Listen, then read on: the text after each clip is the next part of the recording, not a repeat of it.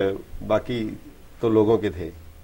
एक जो मैं आपको सवाल कर रहा हूँ कि ये जो आपका इवेंट है, वो तो हमारे, कहीं भी होता है हिंदुस्तान में भी, कि ये जो ब्यूटी कंटेस्ट है, ये जो एक वुमेन को एक कम्युनिटी बना के उसको, उसकी जो ब्यूटी है, उसका जो बॉडी है, उसका एक्सपोजर करके उसको जो प्रोडक्ट्स सेल करने के लिए, या उसको जो जितनी मल्टीनेशनल्स हैं उसको औरत को औरत के शरीर को उसे, उसे उसके उसका एक्सपोज करके अपनी जो एक कम्युनिटी बना के जो पेश करते हैं तो ये एक्सप्लाइटेशन नहीं है उस वुमन की?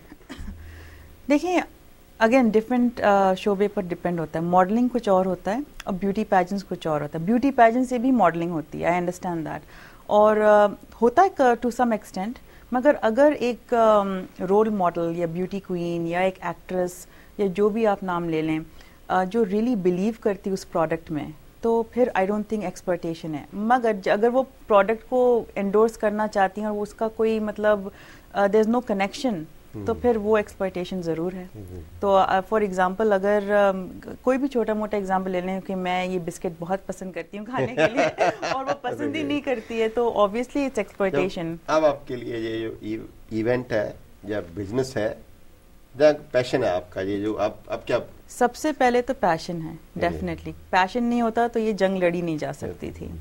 आ, दूसरा अब बिज़नेस बन रहा है विच इज़ आठ साल के बाद अगर बिज़नेस बन रहा है तो मैं खुश हूँ।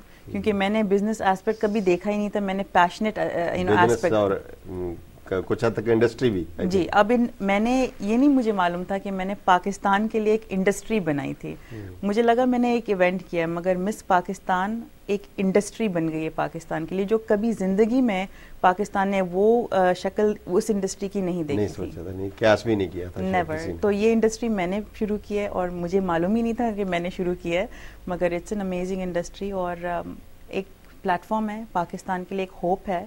कि शायद शायद हमारे लोग अब थोड़े से चेंज होकर एक ये फेनेटिज्म से दूर होकर ये एक्सट्रीमिज्म से दूर होकर एक प्रॉपर बैलेंस रिलीजन और कल्चर में लेकर आए।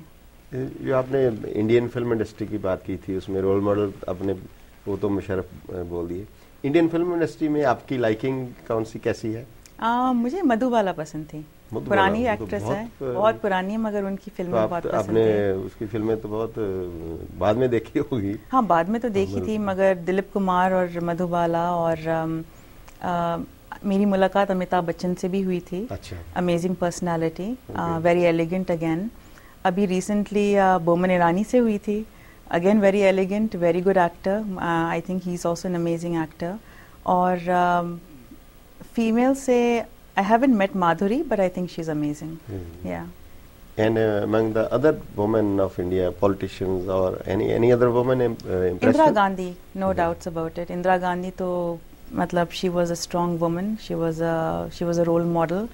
Um, I was there during her time, and it was amazing to you know uh, hear her you know make speeches and all you news में. India? No, I was मतलब मैं तो school में थी मगर स्कूल में मुझे इंदिरा गांधी बनाते थे क्योंकि मेरे बाल अच्छा, अच्छा। वो डस्ट डस्ट पाउडर डालकर ना वो स्कूल में मुझे इंदिरा गांधी बनाते थे कभी कभार वो किसी उसमें नाटक में नाटक में नाटक में तो मैं बनती थी तो मुझे मालूम था उनके बारे में और भी कुछ सवाल हैं तो आपके नेक्स्ट जो प्लान्स हैं उसके बारे में पूछेंगे कुछ आपकी जो पर्सनल जो आपकी लाइफ है उसके बारे में पूछेंगे लेकिन फिर एक ब्रेक और लेनी पड़ेगी सोनिया अहमद कह रहे हैं कि पाकिस्तान ਲਈ ਮਿਸ ਪਾਕਿਸਤਾਨ ਵਰਡ ਨੂੰ ਉਹਨਾਂ ਨੇ ਇੱਕ ਇੰਡਸਟਰੀ ਬਣਾ ਦਿੱਤਾ ਐਂਟਰਟੇਨਮੈਂਟ ਇੰਡਸਟਰੀ ਦਾ ਇੱਕ ਇਹੋ ਜਿਹਾ ਰੂਪ ਦੇ ਦਿੱਤਾ ਜਿਹੜਾ ਕਿ ਨਾ ਉਹਨਾਂ ਨੇ ਸੋਚਿਆ ਸੀ ਤੇ ਨਾ ਕਦੇ ਪਾਕਿਸਤਾਨ ਦੇ ਲੋਕ ਜਾਂ ਪਾਕਿਸਤਾਨੀ ਸੋਚ ਸਕਦੇ ਕਿ ਕਿ ਇਹ ਵੀ ਇੱਕ ਇੰਡਸਟਰੀ ਬਣ ਸਕਦੀ ਜਿਹਦੇ 'ਚ ਪਾਕਿਸਤਾਨੀ ਔਰਤਾਂ ਜਿਹੜੀਆਂ, ਪਾਕਿਸਤਾਨੀ ਖਾਸ ਕਰ ਮੁਟਿਆਰਾਂ ਜਿਹੜੀਆਂ ਨੇ ਯੰਗ ਗਰਲਸ ਉਹ ਉਹ ਜਿਹੜਾ ਉਹਨਾਂ ਦਾ ਜਿਹੜਾ